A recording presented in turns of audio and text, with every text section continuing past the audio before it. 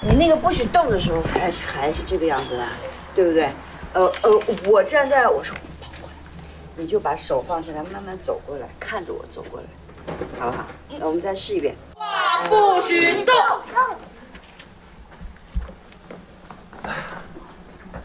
小军，哎，棒棒棒棒棒棒棒棒！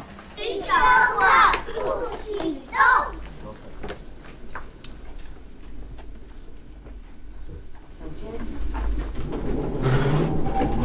小军，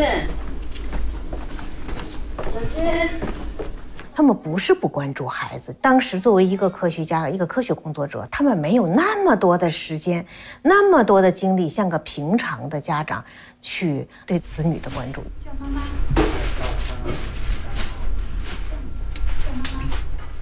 他的两个孩子，基本上就当时就根本就不会不认识这个母亲了，就为了工作舍弃了家庭，舍弃了很多小我，啊，成就了国家这种大我。这种这种默默奉献的精神是让我们非常非常的感动。打开这个，哎，真拿出幸福来。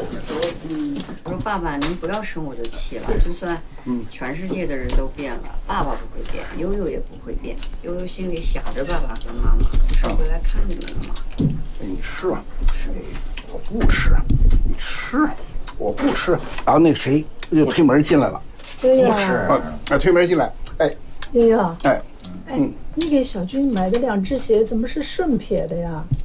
啊，你看看，你看看，你看看。啊我看看，哦，我看看，我真是我我挑了半天还是拿错了。干大事儿的人？有点错的怎么？出点错就出点错，让我吃。